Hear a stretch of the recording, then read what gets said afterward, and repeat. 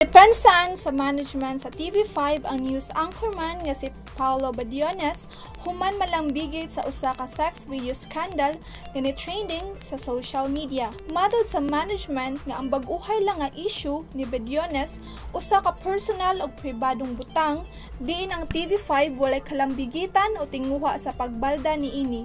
Dugang sa management nga girespeto nila ang ilang mga talents. Gisalikoy sab ni ini ang mga malisyoso o pagpasagad nga publikasyon sa video nga nakalapat sa cybercrime law.